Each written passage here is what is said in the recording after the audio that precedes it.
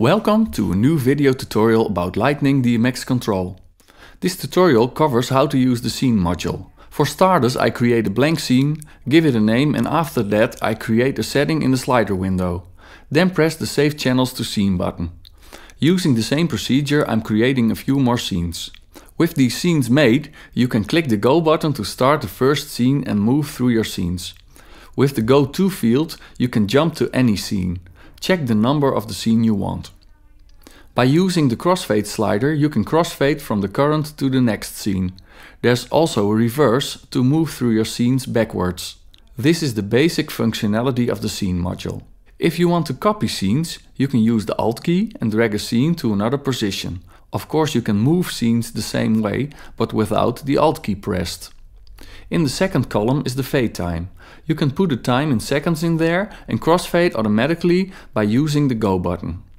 I start with scene 1 again and crossfade through the scenes with their corresponding fade times. This also works in reverse, the fade time is always towards the scene. Use the remove button to remove a scene.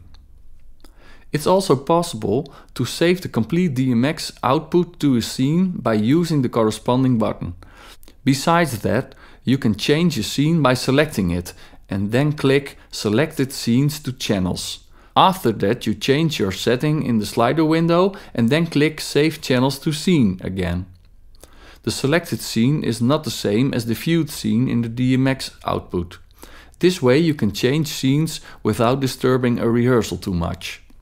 The fourth column is Note and does exactly that. You can use it to describe a cue for instance. It's possible to couple the controls in the scene module to a MIDI remote by right-clicking that control and choose MIDI Learn. This is the end of the tutorial.